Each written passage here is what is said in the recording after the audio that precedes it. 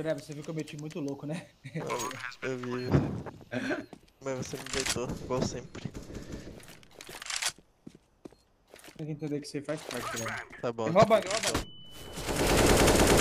O cara não não, ele.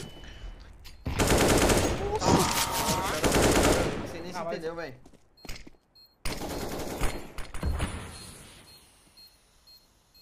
Nossa, e ainda vai matar o cara na faca, isso que é o pior, velho. mano, velho.